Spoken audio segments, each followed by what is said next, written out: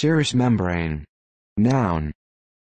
1. Anatomy, a thin membrane that secretes serum lining an internal body cavity, such as the peritoneum, the pericardium, and the pleura.